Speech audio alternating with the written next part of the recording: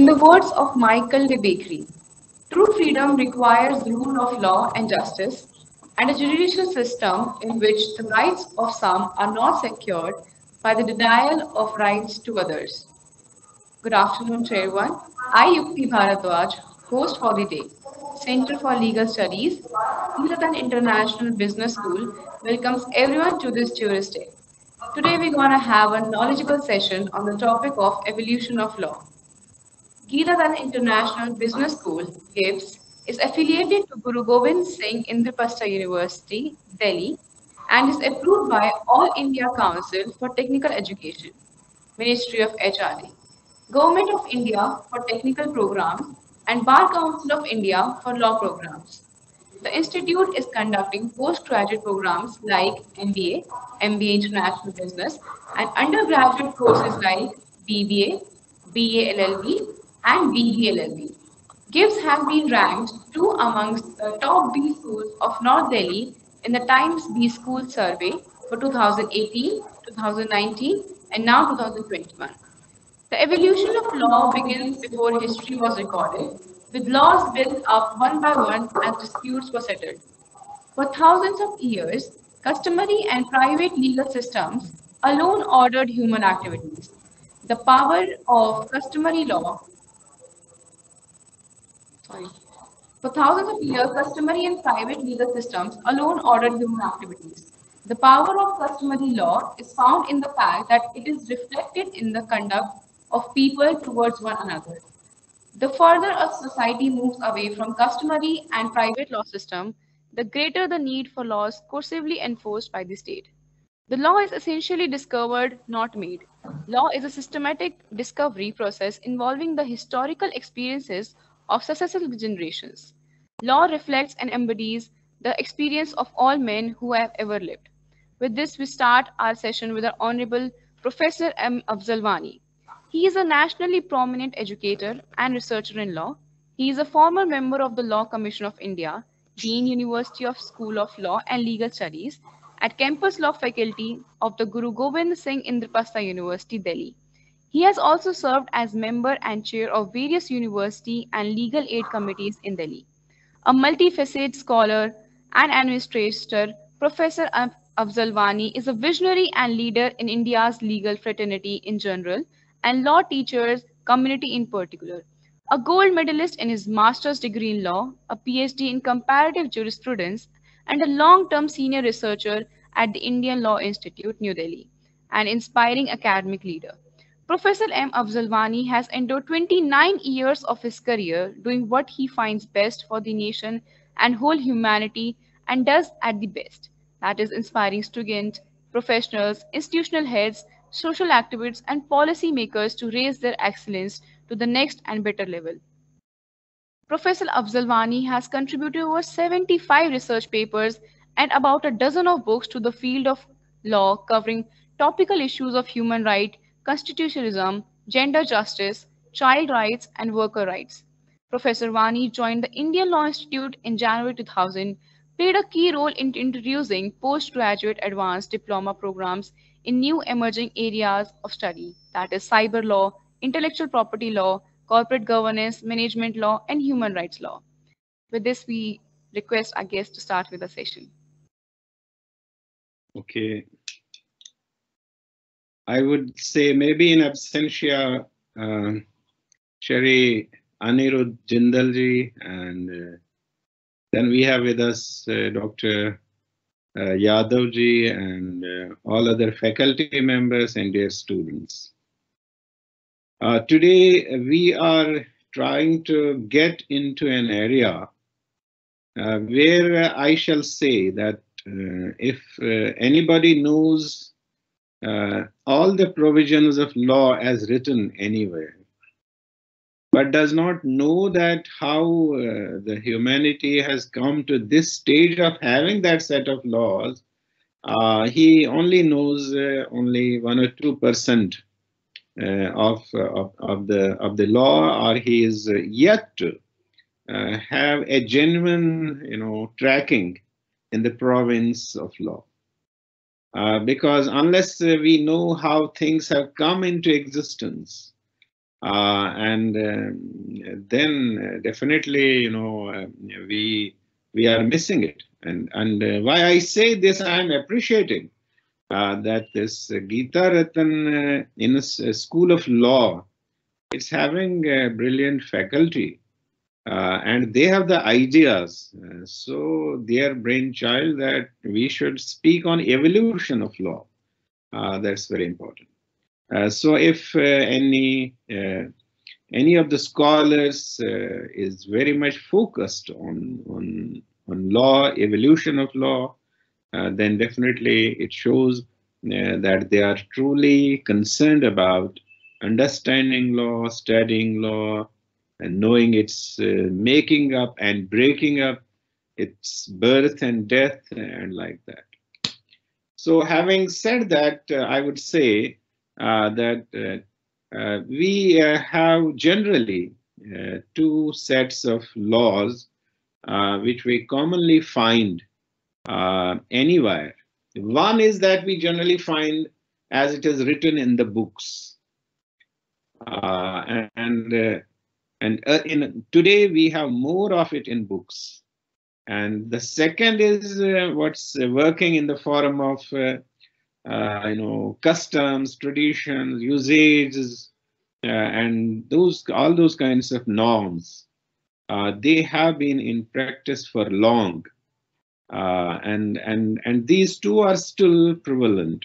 And and when uh, we had a glorious constitution in India, then wherever it was necessary, maybe in Article 13, when it was necessary to mention uh, what law is uh, for certain purposes, then definitely we did not miss to mention these both, uh, uh you know, um, spheres of law uh, and and scrutiny by the judiciary about them.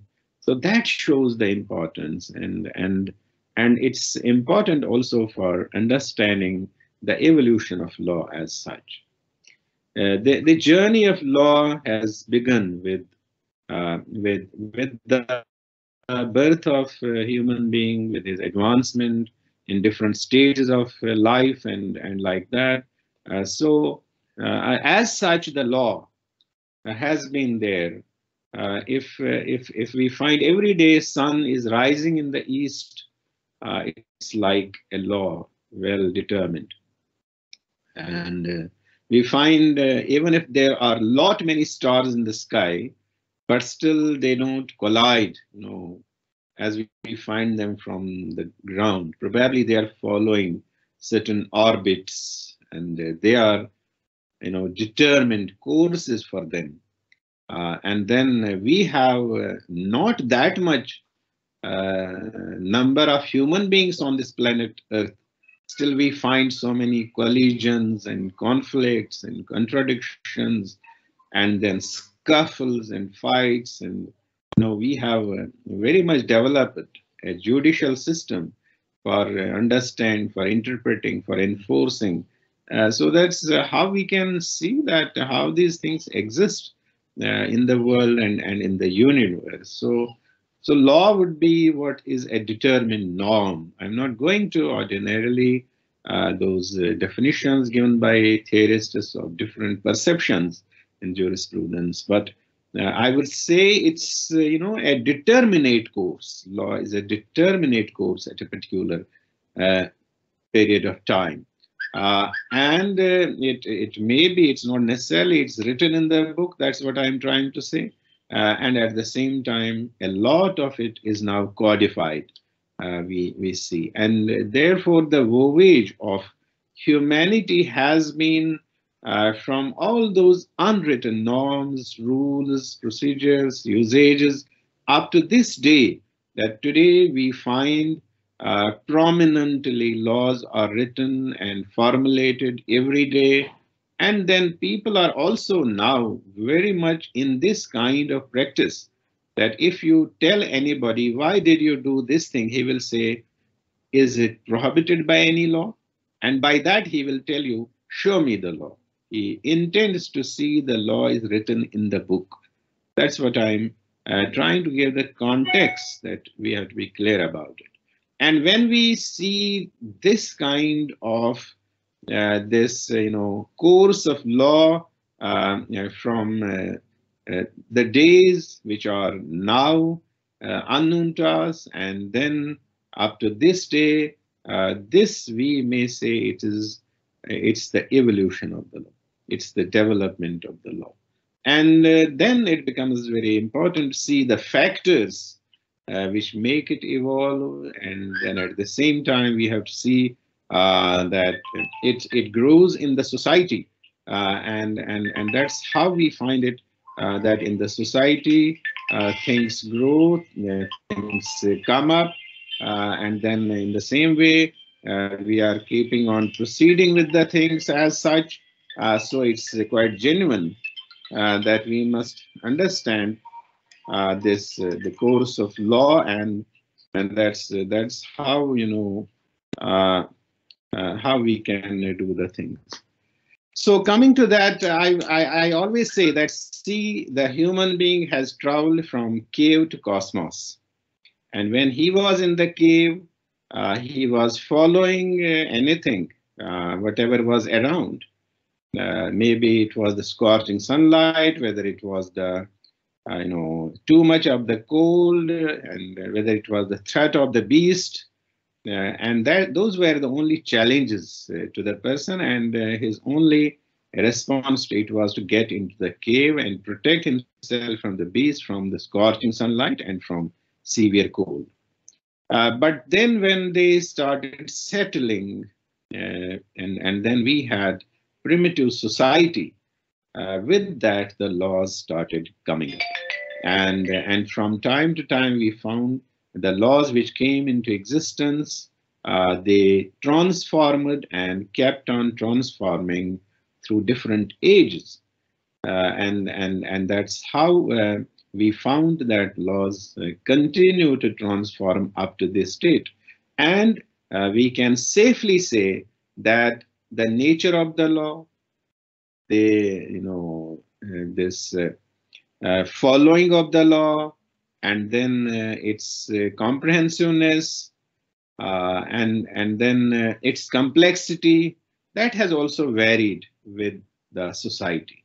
As the society kept on changing, uh, then laws also kept on changing.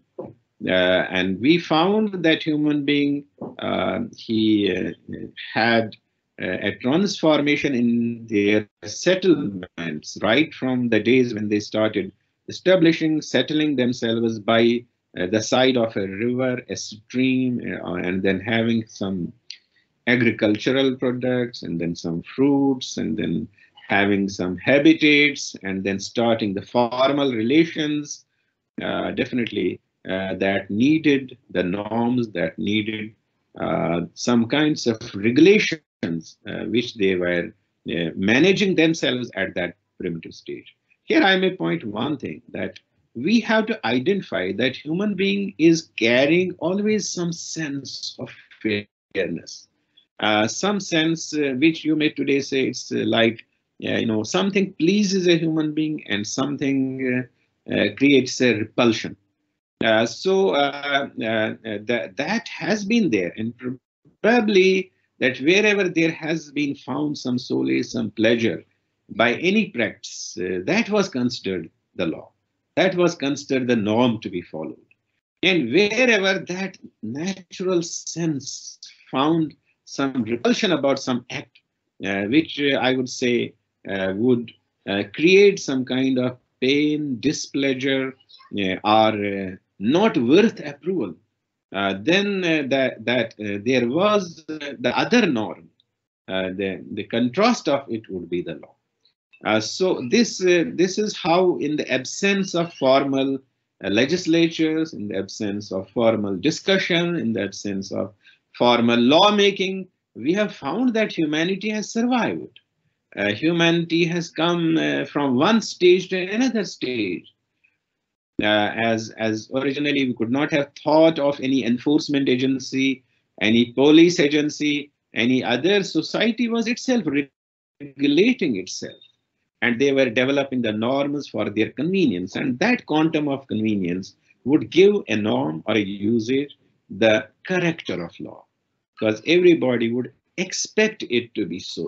So uh, uh, uh, I, I would like to say, say that the students must understand it, though it looks very simple and primitive. Uh, but this is a big foundation which, which can, you know, always be necessary for understanding the law. Uh, because uh, sometimes I say most primitive is most modern. Uh, because, you know, uh, uh, when you go in front of a mirror, it, it is true and it gives you clarity. It may not be seeing, it may not be having a mind, but it reflects. In the same way, the human being then and in different stages, he has his own screen, his own uh, the, that uh, perception in that that level of consciousness when it you observe something uh, it creates a feeling definitely a, a, human feeling. And at the first instance you get the true feeling that whether it is liked or it is not to be liked. Later on certain other factors may come as we find that uh, you know that that is the corrupt part of it. Uh, that okay you try to justify you try to do this thing maybe for self-interest, other things. That's why why I am trying to emphasize that primitiveness, that clarity, that purity of perception, that purity of feeling. Uh, that yes, it is it is it is approvable. This is approvable. This should get the uh, approval. This should not get. Uh, this should sustain. That should not sustain. Uh, this must be accepted as the norm. That should not be accepted. So uh, this this we have to, it is good we learn it from primitive uh, societies from primitive human being. Um, uh, so that you know you put everything in context. I believe that anything should be put in true context. If you put things in a wrong context then definitely you will not reach to the right conclusion right things. Uh, and and that's why the most interesting thing uh, to understand anything is to know its story, know its growth, know its development, know the factors which have come in the way in its growth, in its development.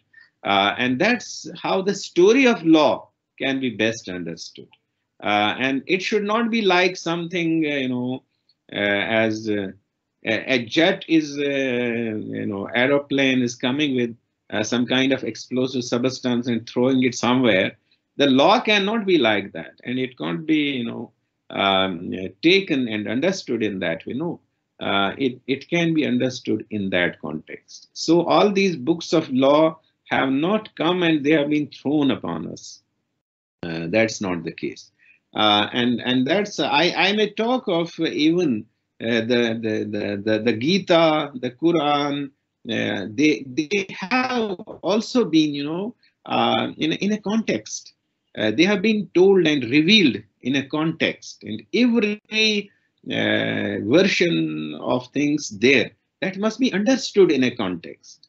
Uh, that what what is the what was the society and what it could be its meaning in that kind of society this society. That's why we interpret it. And interpretation should also be with that clarity of mind and that feeling uh, that when uh, when it was revealed the, the the those who reveal it, the divinity, the God or deity or anybody, then they have, they are doing it with purity. And what is that purity? That purity is the same thing. That you are with a clear mind, you are with a clear conscience. It can be uh, to bring, uh, you know, uh, this uh, uh, some uh, some good thing, some harmony, rather than it can be a corrupt kind of thing that can create uh, difficulties and uh, that cannot uh, really be convincing for that human uh, thought and understanding. So, dear friends, when, when people started settling uh, from period to period, this kind of theorization, as I'm giving you, that will go always with it. and, and then second thing which I would say that human being in any state has always felt that he should feel safe and his uh, that's the issue of safety security uh, then uh, he would always like uh, that he is treated just in a just uh, and and that can have its its own connotation, its own input in different periods of history. So when human beings settled in his primitive settlements, those were self-regulatory societies, and the law was generally present in that liked behavior, that approvable behavior, which was approved by everybody in those societies. And definitely there might have been their heads their you know seniors or their otherwise in their organization uh, the people who were trusted and believed or advisors they were helping those societies in maintaining uh, cooperation solidarity peace uh, and and that's law how law has existed and the societies have perpetuated and exist and continued um, for long. And then uh, we can say from that when when we came to tribal kind of settlements uh, in those tribal settlements uh, you can see uh, that uh, there was a more kind of regulate regulate uh, this uh, regulation uh, and brought into the system of behavior governance and at the same time understanding and then conscientiousness uh, so uh, so they they started formal cooperative activities, which we may say formal socially approvable activities. And then societies got structuring in a better way. So all that had some kind of law behind it, uh, some kind of regulation behind it. And the spirit behind that was the same that all should survive. The society should be a just society it should be a fair society because there are disputes with respect to um, this uh, uh, property, with respect to this, uh, uh, you know, uh, any other kinds of possessions. Till then, we, we, we didn't have probably the formal system of money was not till then a property and might be there would have been for some other kinds of things for friendship, for other things there might have been when greed came, when other human instincts, uh, you know, they started operating, uh, then definitely there might uh, have been more conflicts. But primarily property uh, was the, as we say, that was the serpent, which was first born, which became the main reason of conflicts. When everybody shared everything, uh, then at that time there were minimum kinds of conflicts but when mine and thine started, and then we needed more a formal kind of system. Uh, and that's how uh, the law in those tribal societies can be understood. Uh, that what possibly could be the conflicts uh, and uh, what possibly could be the solutions. Uh, and today also, if you will look back to the, that all history, if you take an interesting uh, kind of uh, uh, example that how disputes, many disputes were conflicts were with respect to women in, in those societies. that how they would determine Uh, this uh, the status of marriage, uh, the choice for marriage, then you know other uh, kinds of benefits to be given. Uh, so we we found in those societies they had very novel kinds of things. Some sometimes a marriage was determined on the basis of the might of the person, and somewhere uh, many things, as we know that rule of primogeniture. If if somebody had uh, uh, two sons, three sons, then the property would go to the elder son. Uh, that's the rule of primogeniture. Uh, and then um, uh, very very kinds of today you will feel these are very funny and uh, but these were existing there, what were, whatever were the reasons. Uh, and how much was the right of uh, uh, this younger brother on the property, what could be the uses and had only the maintenance rights. And even today we find up to this date, these things have continued in many societies. you will be still finding the traces of it. As we generally say that the, uh, about uh, certain colonizers, the the reptile has gone, but the tail is still there. Uh, so uh, we we find it yes, yes, yes these kinds of uh, things have existed and uh, but uh, but the uh, this uh, waves of time, the, uh, they they have uh, and currents of times they have kept them changing and and things kept changing. The laws about property regulation, laws about family, uh, and and more so there was uh, about status. focus was on status. that somebody was the head of the tribe. He had tremendous powers as as the head of the tribe. Somebody was the head of the family. His his uh, powers were, you know, I, I, I believe without any limit, uh, he could do anything. Uh, and then somebody was a daughter, then she had to bear the things uh, as as a daughter. And somebody was a wife, then she had uh, her that kind of limitation on her privileges. Uh, and then somebody was a husband, maybe whatever the quality he would enjoy the status of being a husband and and probably uh, not only the husband but he was the master of everything. Whether all living and non-living things uh, he he could be. And and and that's how we we have found uh, the institution of slavery uh, that that was very much prominent uh, in the in the world. And it's through these kinds of you know stages of development we have found how how humanity has passed uh, and and then all that feudal system then you know uh, right from small small agricultural holdings when some powerful people even when the, the the marriage was to be determined by power not to speak of the land so many would have the larger ones and he would himself become the lord and others would become the tenants and that also the rights were to be determined by the lord himself to his convenience. Uh, and and and that's you know there is a long history on that. And uh, if I mention another thing that even uh, when there was a movement from tribal to kingships, then kings you know claimed something different. Uh, they claimed uh, in most of the places uh, that they are vested with something from unseen God. and then probably the impression was given he the reflection of God. Uh, and uh, and the, the humanity has passed by that stage uh, of uh, this development of law as well. Uh, and and humanity had to suffer. So when when I was saying earlier, primitive is most modern. Primitive means then human being was free to determine that this is worth to be appreciated, worth to be followed. It is fair. It gives us pleasure and then uh, they would decide the things in that primitive society like that. But when there was a tribal head or a king, then definitely it all that is uh, devoid of it, then it would be the pleasure of the king. It would be the choice of the king, convenience of the king, convenience of the tribal head.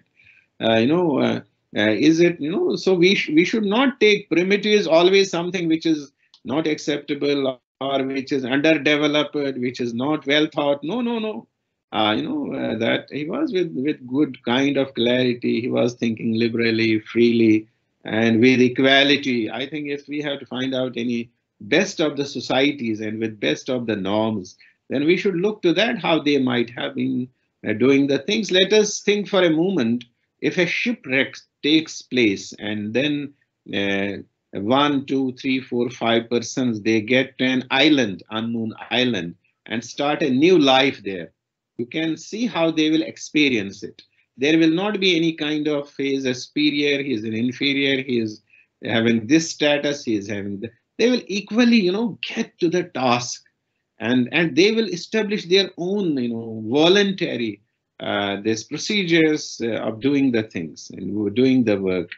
Uh, and and they will establish something with with that um, uh, pristine purity uh, that and and the behavior will be quite different that way. So um, through these stages of you know tribal and all that, and at the same time, uh, you can see the levels, even if it is the tribal period, the level is at the law at home, the law in the tribe, and then law with respect to the intertribal relationships. Uh, that's, that's how you can see the dimensions of it. Uh, no, it's not uh, merely taking it that this was probably all simple. No, because human being had to regulate the things at home, uh, in the vicinity, or in the tribe itself, and then beyond. Uh, that how the relationships with other tribes you can you can see how uh, you know uh, the, these things were happening in a good way, but at the same time we we find that complexities are there, and and today if anybody really wants to have a good understanding of law, he must have all these perceptions. He, he must think of it uh, that uh, that that how they were doing the things then at home. Uh, what could be the privileges of the, of, of the child, a girl child, a male child, a mother, and then father, then grandfather, grandmother, grandchild. Uh, what sort of relationship, you know, and today we find, you know, it's uh, it's uh, relationship is the same, uh, but human being has, because of his own complexes, created complexity in it.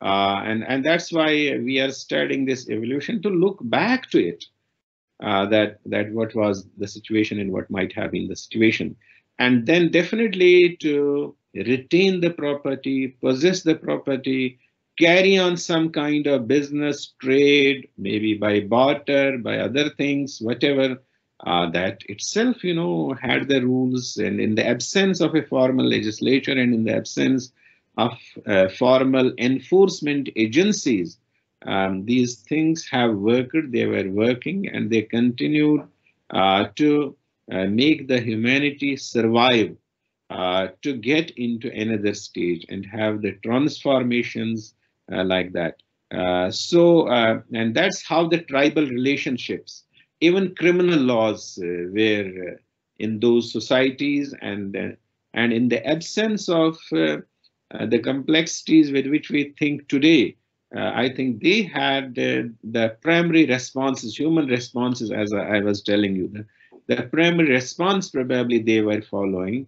And that's how, you know, uh, we find uh, in, in various societies, uh, they would uh, not go more about the investigation, they would not more go about then looking for other kinds of procedures to be followed in the uh, in, in the resolving of a dispute or then in, in case of offense and crime in terms of punishing. They would straightway, anybody would voice a concern no, an offender should be punished.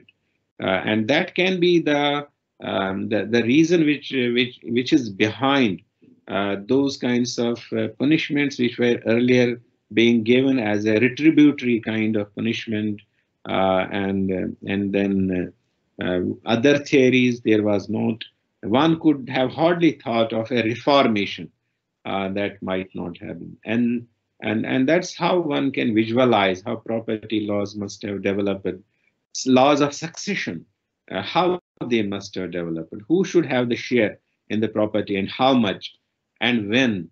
Uh, that's a very important aspect of uh, this development of laws and evolution of laws in human societies.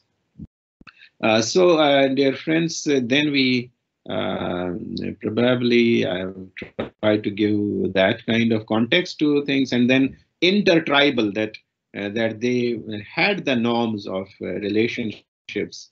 Uh, as as you know, conflict is natural. Without there, we cannot imagine a society or societies without conflict. Uh, and that's when today we study the humanitarian law. as you find today, the war is going on, or it's an imposed war, or whatever Uh, Russia and Ukraine, uh, we, we have uh, the modern uh, humanitarian law. Uh, but even then, if you will find in earlier days, even in India, in ancient history, we can think there were the norms to be followed uh, for war when, when one tribe would fight another one or one society, one community, others. They had to follow certain norms. Uh, so it's not anything new that has uh, abruptly come into existence and uh, and you got it. No, everything has gradually come up, and uh, that's what I'm saying. In those tribal periods, um, there have been uh, laws at the family level, at the at the uh, society's uh, level and then also uh, among the tribes itself that if one tribe is doing this, how they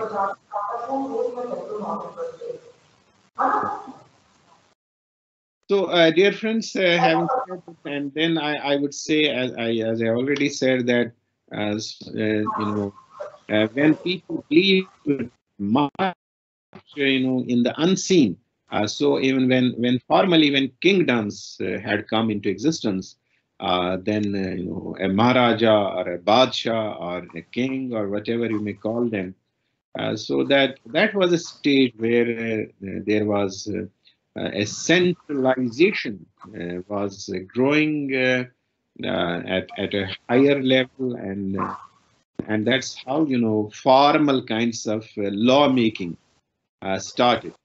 And along with that we we find that throughout the world uh, that period of history when we had all these uh, uh, kinds of kingdoms and rajwads and others, we have reality.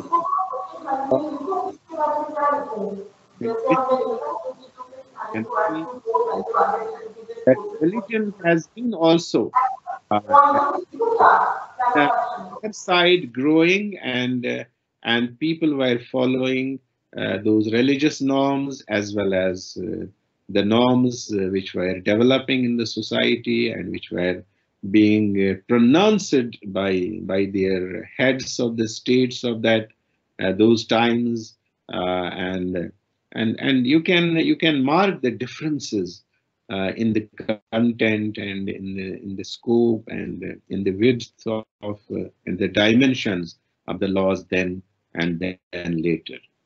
Uh, so, dear friends, when then came the concept of state, and and you find that uh, state and organization was brought into existence and that uh, state uh, was defined by scholars but it has existed uh, and uh, and and there you found uh, that that they that people wanted to live together.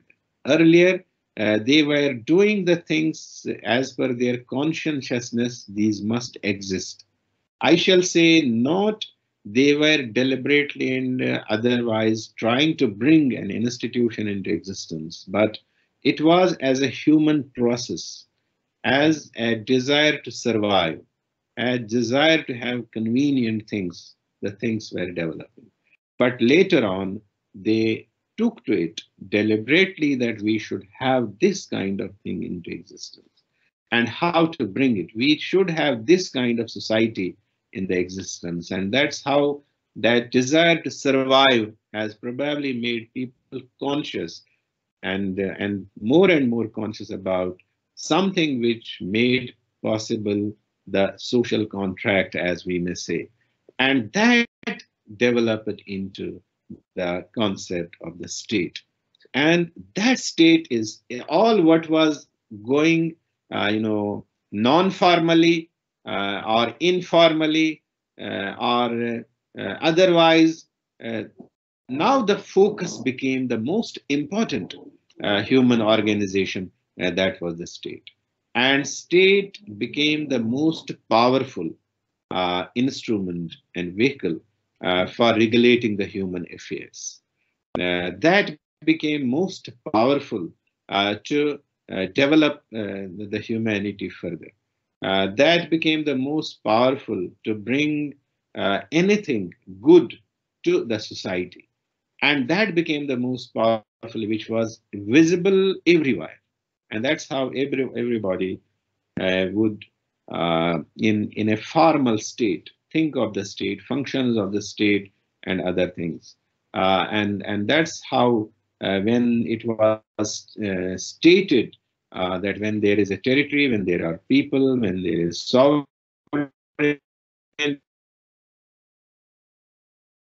existence, the government itself, uh, you know, is the regulatory apparatus which makes the state uh, survive, sustain, uh, function, uh, and and in that also, uh, when we look from Montesquieu's perspective, Then he talked of the separation of the powers, uh, based on uh, on the concept that uh, that power corrupts and absolute power corrupts absolutely, as was uh, done uh, defined uh, by by thinkers later. Uh, so the question was, uh, as in his case, that uh, that if if somebody is the same person is making the law and same person is executing the law and same person is the judge and uh, determining its fairness, uh, then naturally uh, there will be uh, what uh, we say that absolute power corrupts absolutely. There will the purpose of the law is to bring harmony. The purpose of the law is to bring peace and develop, promote the satisfaction of the people, which is definitely uh, to be evaluated and found that it is in conformity with the satisfactory values which uh, human being or humanity is carrying with it. And once we don't have that kind of satisfaction, we don't find peace in the society. We, don't find contentment. Uh, and that's how we find conflicts come up because of that. Uh, so uh, that, that then came this separation of powers became a very important uh, kind of determining uh, factor uh, for for various kinds most important of it, the making of the law, the development of the law, framing of the law, formulation of the law, and then to find the techniques for its uh, implementation, and, also to devise the techniques for its enforcement, and also devise the techniques for its further development through different processes of reformation. Uh, that's how uh, we came to that stage of it. Uh, and uh, I may here say one more thing uh, that at that time people were talking talk of separation of powers. A separation of powers, uh, I, I, think there should have been separation of uh, function and uh, the separation of powers. But people were and are uh, obsessed with power. That if somebody happens to be the head of the state, uh, an institution is, uh, you know, the central in its this position, then definitely people look to it in terms of power, and they themselves also see it. Uh, but I believe it should have been uh, that that this is a function to be performed. Yes, not without powers. rather than a power to have the show the uh, that's uh, but those days to this day, it's taken truly as power to show the power. Uh, it's not the power to perform the function. Yeah, and that uh, led to the better, you know, those regimes. We do have development, but they are by conflict. Conflict also, when you have equal forces, then they also result in some harmony. Uh, after you know, uh, there is uh, is, but I think if uh, it's taken as power to function, then we can have uh, better systems, better regulations, uh, and better thinking also, uh, even before there is a conflict. So, having said, uh, we are stage, an advanced stage, uh, where lawmaking is given to particular institutions and necessary that after looking to how the primitive society was being, how earlier said, uh, the people they have laws and then how tribal periods were watching it and witnessing it, and how later on Rajwadas and Kenya and others it, and then how came to the state. Uh, there we find then especially the in the uh, uh, and in the function of making laws and, and uh, implement them, uh, and then if necessary reform uh, we, are in Uh, better it will be that, that we briefly to, uh, to things which happen in Europe. And uh, then in, in India, we will see the way. I would say uh, that in this all process in the last few, uh, for 500 years, science, science developed. Uh, and the, the sciences influenced the human behavior and the talent uh, exploit the resources uh, and and that way what result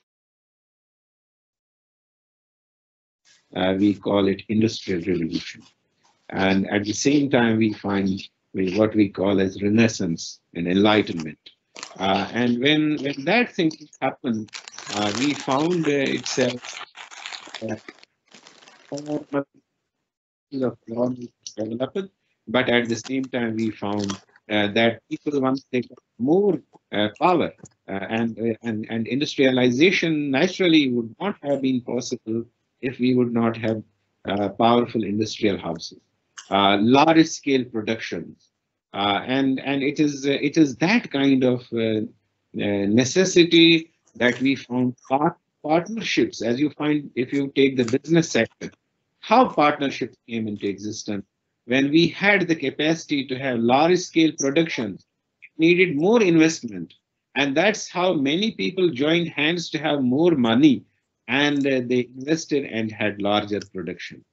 And that's how we can say if a, if a student of corporate law wants to understand this scenario, it has developed from these kinds of things. And you find it that yes, to have large scale production and then have their marketing, other things needs more money. It could not be done by one person and therefore a partnership firm become At the same time, you know, uh, uh, why then corporations? Naturally, the answer lies in it itself. If a partnership would uh, this would fail, then definitely then all those creditors would come and they were making each partner liable. And each partner was liable up to his skin. His home property would go his personal property would go because uh, that he had done it he was a partner. And therefore to facilitate the making of the business at the larger scale uh, these partnership firms were further developed they evolved into the corporations where the concept of limited liability came. Uh, that, okay, even if a partnership is failing, but a partner will be liable only up to the extent he had the share in that business. And that's how it was given the name of then uh, incorporation and and that became a corporation became an entity different from the people who had brought that into existence or who are otherwise taking the benefits out of it. Uh, so you see how things uh, develop with time.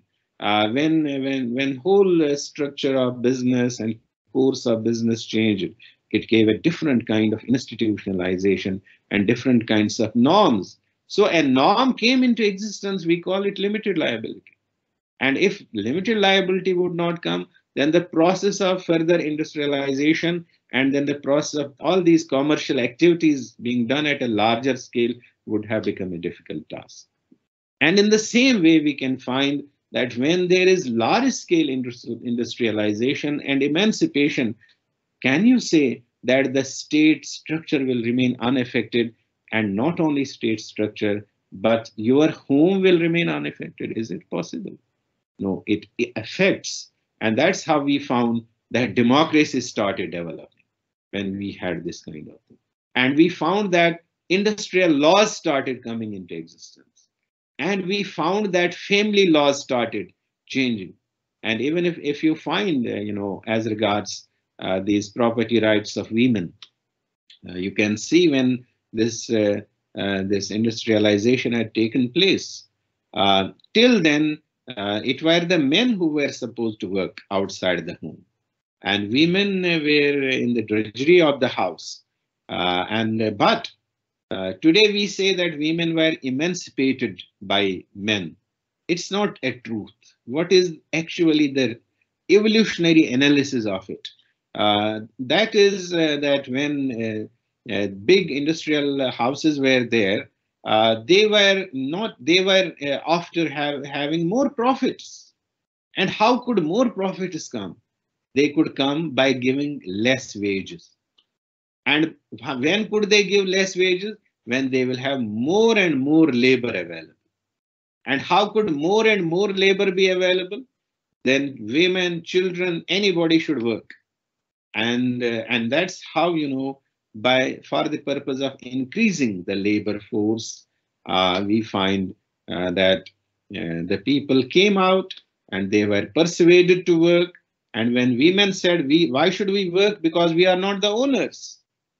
But then was passed in England itself the Women's Property Act of 1882. You can look to it uh, that that gave property rights to women, uh, and and and that persuaded the women to come out out of their homes and and they started working in offices in factories uh, in markets and and today the situation is that every task is done by women. So so this is see how how things come out. And maybe in a street of london if somebody is a is a is, a, is an old fashioned indian and then he looks for a barber a male barber in a street, it will be very difficult for him to find out.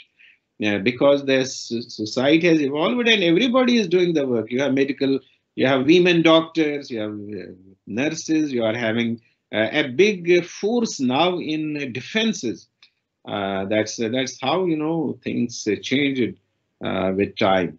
And even if you look to this corporate thing more, you can find in this you know uh, part of the world. It was a company which became so powerful, and uh, and our country was overtaken by that country, that that company. Uh, how how things you know changed, uh, and that's how you are talking of East India Company. And I don't know for the last so many years I'm thinking of making a West England company, but we are not succeeding in the, that to to overtake the West through a company. It's uh, when that evolution will take place. Uh, so, so somewhere somebody has to think in those terms to equate uh, these, to have the, you know, balanced kinds of developments, balanced kinds of uh, this uh, uh, norms to grow. Uh, you have to develop things otherwise also. There is no fun that you remain lost in that those all those traditional kinds of things and then uh, not give the women the space to work uh, or uh, then to, to, participate in various kinds of activities. No, now it has it has evolved to, to this level, has come across to this level, and that's how systems of governance, uh, as actions of the king were limited, least to bother about welfare. Might be there was some welfare-minded king somewhere they were taking. But otherwise, that was not the primary duty of it. Probably it was the duty of the people to serve the king rather than uh, uh, this king uh, taking more care of it. But when the state came into existence, the primary function of the state must be to look to the people. And that's how uh, we are now moving aside from the concept of pure administration to governance. Because we have to regulate, we have to look to the things must happen in a better way. and then all, uh, when money became property, the institution of bank became necessary. Uh, so uh, if if if money would not have become property, then bank would uh, not have come into existence. And then how the banking system is developing and changing with time, you can see that also. Uh, and and then uh, you can find and how the administrator has has been in earlier days and how uh, through different changes in the society understanding and as we call awareness and then assertiveness how you find that how administration is also trying to accommodate and adjust itself with the needs of the people needs of the society uh, and and then uh, for uh, motivations that how people will work and like that uh, and and uh, I, I, must say uh, that there there is the area of this legislation. then when I talk about this thing, that thing, that thing, when we get to the this period, then I think we should never, you know, ignore uh, that the legislation uh, is now happening through legislature. When Jeremy Bentham was giving his theory of legislation, we should uh, remember it. Uh, and that's how he is called as father of modern legislation. Uh, and uh, he wrote his theory of legislation. And there, um, you know, we we see that the society needs lawmaking every day, and at least evaluation of law every day. Uh, because you know it it affects uh, the human heart, human mind, uh, and and his his his you know wishes, his desire, and there are there is need for promotion. There is a need for restriction as well. In earlier days, laws were taken only as restrictive measures, but now we it's a developmental vehicle. Uh, this is a tool of change also. We sometimes we want to change a situation. We make a law for that. Uh, so, uh, so that's how you know concepts uh, keep changing from time to time, and there also when now the task is with formal institutions, somewhere with a jirga, somewhere with a congress, somewhere with a parliament, somewhere with the Vidhan Sabha, somewhere with uh, a body making bylaws somewhere, and and this thing and that thing, and in societies, welfare societies, they also have that kind of thing. So in all this process developed also something uh, uh, which we say that state is becoming most powerful, then the functionaries of the state may become despotic and cruel.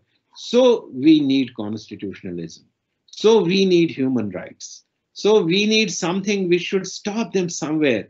Your power is this much. You you you are very powerful, and I'm submitting it. Uh, but at the same time, this is your limit. That's how you know uh, different, any law can be understood in its context, how things come up, how they grow, how they uh, get to it. I'll not get more into that then because I may then miss the, the most important of it. Uh, that's uh, I, I want to go to the first, India's first war of independence because let me see how things have uh, happened here, you know, before I close. Uh, so when uh, Indians were un under that company, so company is not having a heart. Company is having only a desire for profits and more profits and more control. And that's how you probably that must have prompted our, uh, you know, uh, the, the, that generation of, of the people. Otherwise, Indians are very kind people. They tolerate even rulers. So they, they might have come up uh, with that intensity and they did shake the crown of England there. And they used too much of the force to subjugate, to suppress the first war of independence in India. But that had an impact. It had an impact. They felt that these Indians can someday overthrow them. And therefore, it is better to give them some kind of partnership in lawmaking. And that's how you can see that after 1857, they started convincing people that we will give you representation in central legislature. Uh, whether it is uh, act, that constitutional act of 1860 or 61, you can find it. They did never implement that. That's another thing, but they did write it. So my question is how you know uh, we change. You know we how laws, these concepts come up in the society. So the root of uh, self-rule, self-regulation, uh, self-participation in lawmaking uh, has uh, come to the people of India because of their very strong resentment through uh, their uh, uprising in 1857. And, and they, they created a space there in the minds of the rulers that we should be the partners in lawmaking. But at the same time, as in 1830s, the first law commission was established uh, and then I think its work was uh, made more brisk and vigorous. And that's how we started in, uh, in just after 1857, other laws coming up, legislations coming up, and most of the legislations came in during that period. Till then, we find something like regulatory, regulating act, other things, and maybe uh, some more kinds of uh, things. But mostly the formal legislation and we find the Indian Penal Code coming there and we find then that in that period contract law is coming 1872 and then Guards and Guardians uh, Wards Act, then uh, uh, ev Evidence Act, and then certain uh, small codes about criminal procedure codes. You can uh, see the list and then the system of codes uh, that that how to engage the people with the system of justice.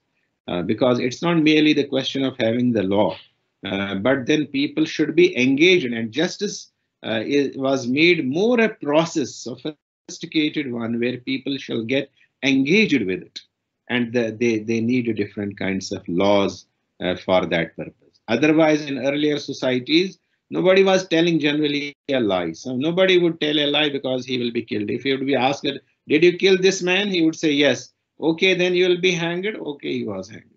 this was probably earlier the situation, but proving everything through evidence with technicalities with this thing. That's what court system and procedures uh, we we are having. Uh, and then uh, you know, and and many of the Indians they uh, they did not stop fighting for independence with uh, this with with the cessation of 1857 absurd.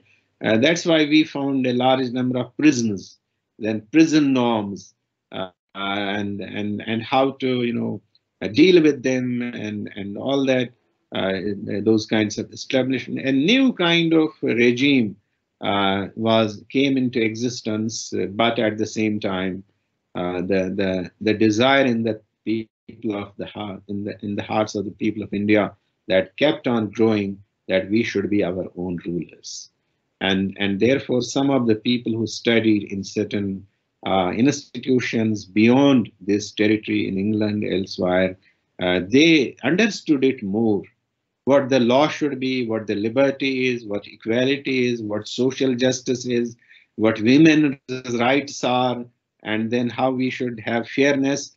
All these concepts started uh, making place in the minds of the people of the country.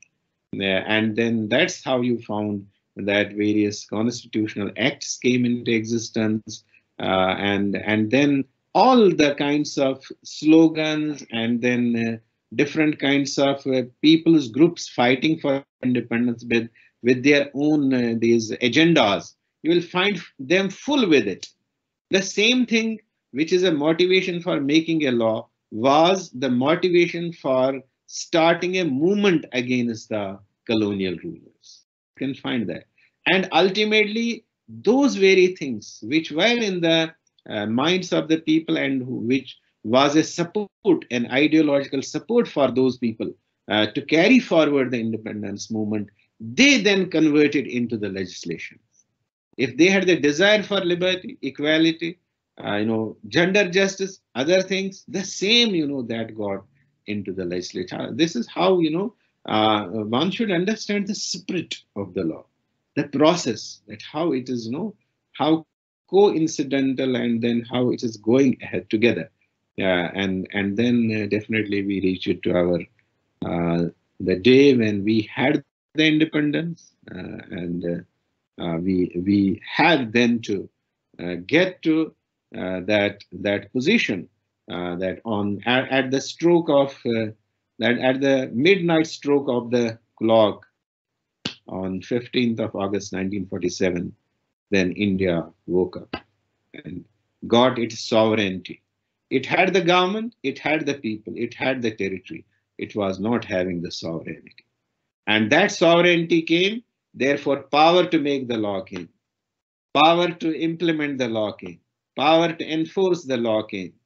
And how good we are going with it, I think we should have the primitive man always in mind. That we should have that test. This is fair, this is unfair. And this India is a great mother because we are not in scarcity. We are not poor. We have rich resources. I think we should never have anything like greed, anything like other things which can take away a person from fear thinking, fear understanding, fall, anything. No Indian can fall because the mother is very rich. Its lap is very strong. So we should make fair laws. We should fairly implement them and then instead of power of Montesquieu, we should think of functions of the, uh, you know, organs of the state, functions of particular person. that will carry the power with it. When we say you do this thing, that means you have the power. If we say you have the power to do it, I I am not. This may be taken as my personal opinion, but I believe that the one does generally the same thing with the same kind of inclination and intensity as he thinks about it. If an officer thinks this is my duty, then definitely he will walk barefooted and do it. If he knows that this is my power, then he may order his cleric to do it, or he may have a different kind of posture and other things. So that's where I come of the Constitution of India that when we talk of uh, that to doing justice, giving equality, giving freedom of conscience, or respecting dignity and integrity, this is function of everybody. Because we have given this constitution. And that's how this is our function. Other things are are otherwise there. I think i should stop here and uh, uh, now uh, we may have certain questions from dear students. Uh, God bless you all. Thank you so much. Especially I'm thankful to Anirudh and more to Yadav Saab because you know he is very uh, vibrant and he, he has is bringing big changes. So consolidating and all other factors. Questions. Thank you so much, sir. It was an extremely a valuable session. Now, sir, I may have your permission to take up a few questions.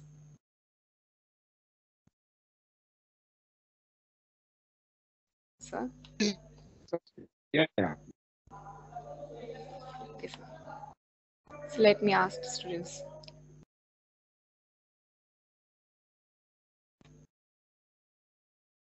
So it seems due to some connectivity issues, I'll take up the questions. So first in hand is, so how do we identify that what actions will considered as law in the primitive times? Or am I audible? Yes, you are. You are audible. Uh, so it seems like network issue from one user side. Network quality. So it's, I think there is a glitch, sir. अच्छा कोई दिक्कत आ रही है हाँ जी हाँ जी Yuki, please, will you please repeat the question? Some, uh, Yes, sure, sure, sure, sir. So my question is, how do we identify that? Yeah, uh-huh. Yes, yes. How do we identify that what actions will be considered as law in the primitive times?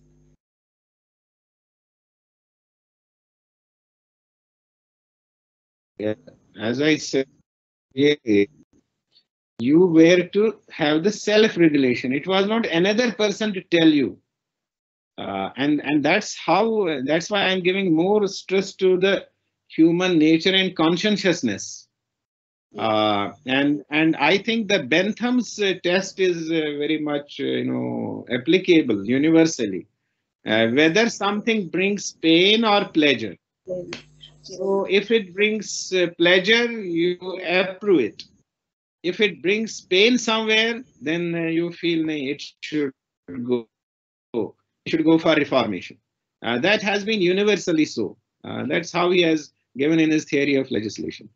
Uh, and and then uh, it's not that simple also, but might be that will need uh, a, lecture for that about that. But but this time I think this enough.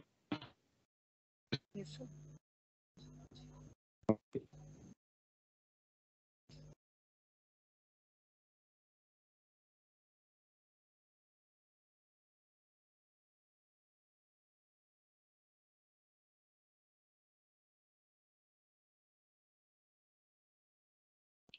Which, or, है शायद I, think we should have now some uh, uh observations of uh, uh especially Yadav Saab and maybe some faculty member uh, because students may not be able to. so one more, one more question from the students that I just texted. So can international law can be considered as law because they don't have binding effects? So can international law can be considered as law? Okay, uh, see, uh, uh, this this is something. It depends on perspective. If we look to it from Austinian perspective, who wants a sovereign there, uh, and then uh, if you don't follow it, there will be um, uh, sanctions should be there. So so that way um, we say uh, uh, Austin's concept of law is the vanishing uh, international law is the vanishing point of Austin's jurisprudence. Because we won't be able to find there the sovereign and the, the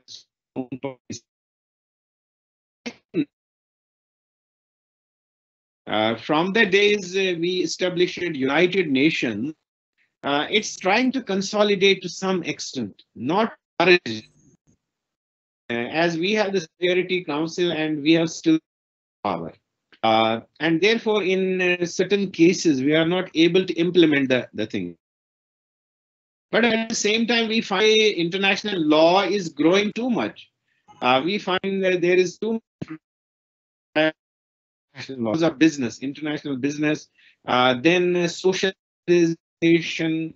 You know, we, we you have uh, uh, like UNICEF, you have uh, you have the organization like uh, WIPO, uh, and then uh, you know that that's in a big way advancing. Uh, but it is the students are really correct also at the same time uh, that still we don't find that this from the Austinian sense it is a law, but from from other perspectives that when a law grows and and that way the international law is growing and then there is public opinion for example, in today's uh, Ukraine, uh, what is uh, restricting USSR from using every kind of force? What? It is the public opinion. Yeah, so we have developed humanitarian law. Uh, we have developed certain norms for uh, from the point of view of human rights. There are uh, UN agencies for advancement of human rights.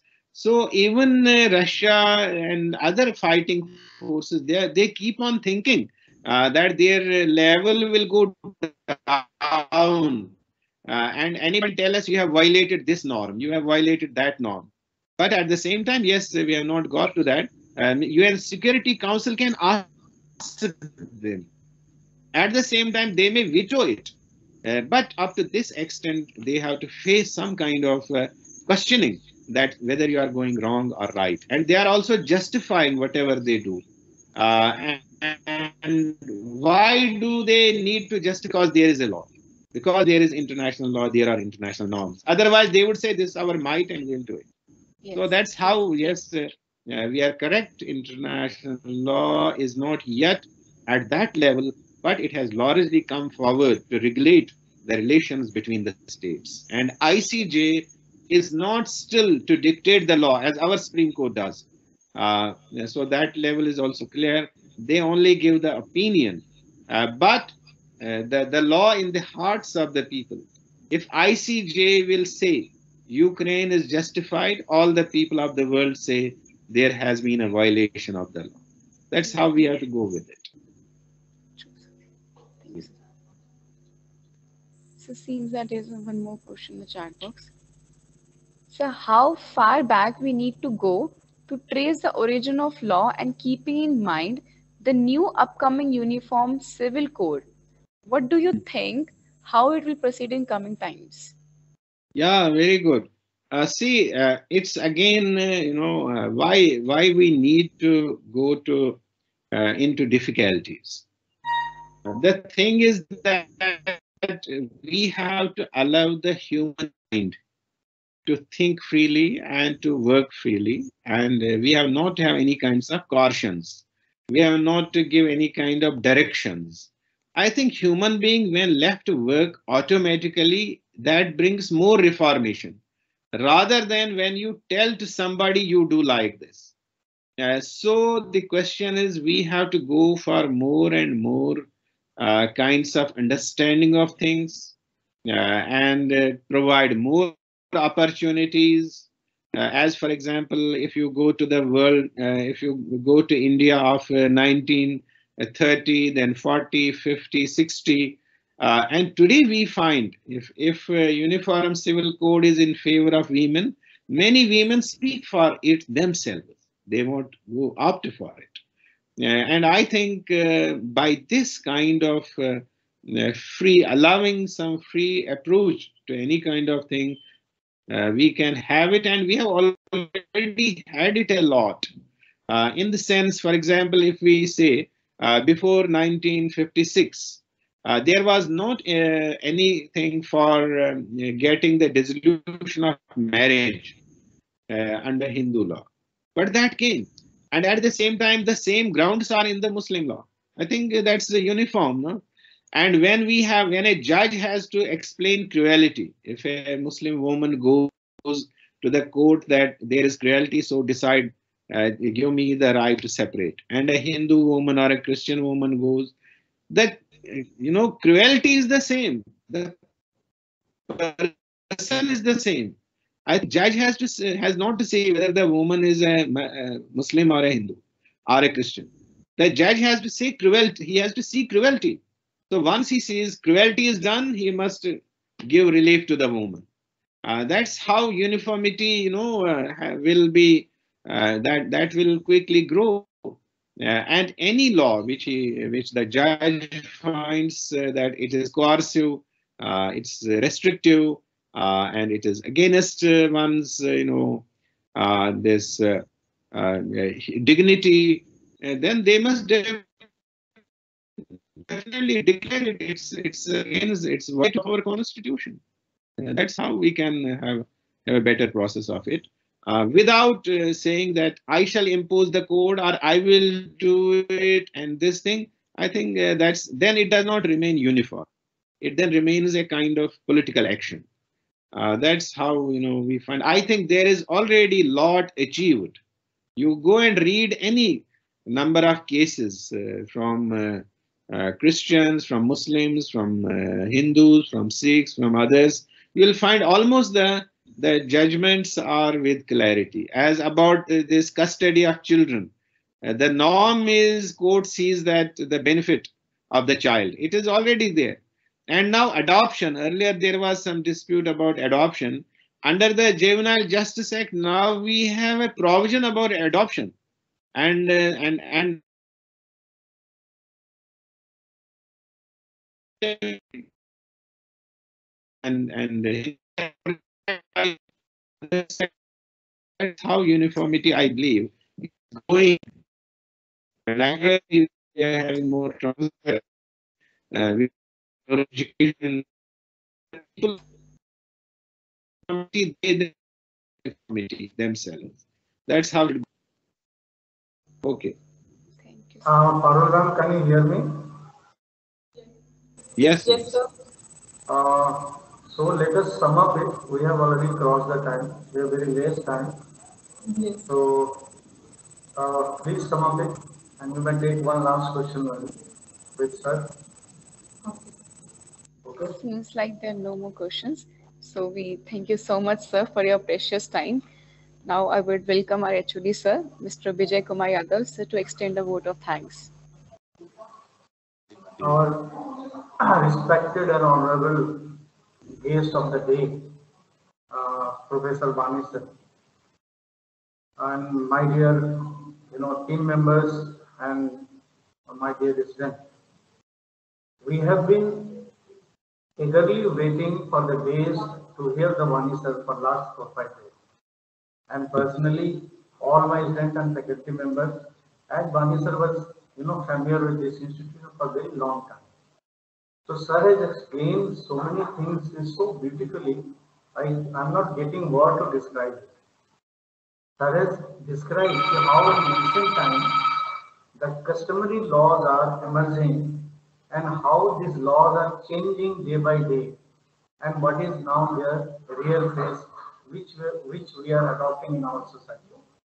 You know, East India Company has played a very vital role as Vani sir has explained to everyone. So really we are all grateful to sir that he has a, you know, uh, he is a sip of knowledge, you can say. So he is having, you know, knowledge from each and every corner like that. So, uh, my dear friend, uh, in the time of you know, East India Company, it was very difficult to make any laws. You all know that Lord Macaulay just started new education policy and they introduced English uh, language as a medium of the education. And both Hindu and Muslim protested it on very large level that we are not going to uh, study English language. And so many things are there. In ancient time, there was a rule for the school that, that especially in Hindu, you know, uh, community, that the people of lower caste, I mean from Sudras, they are not are entitled to get admission in the school. Slowly and slowly this system was changed and then it was told that okay, they will get that admission that they will sit outside of the class. Later on it was already made very strict rule for that and everybody has this right to get the education and nowadays all are equal in the classroom and they are enjoying all this. Everybody knows that the French Revolution was the first pillar of all this side, where we have got liberty, equality, and fraternity first time in the world. This is very, very important. If you see in the you know ancient time, you will find there was only Hammurabi code of law. Hammurabi was the king who has uh, carved all the rules on the pillar. और rules कैसे थे? Eye for eye, teeth for teeth. So the you know the main object object of the law is not to finish the person to but to bring some reform inside the society. Otherwise, so if this, these types of rules will continue in the society, so there will be one day where there will be no people alive in the society like that.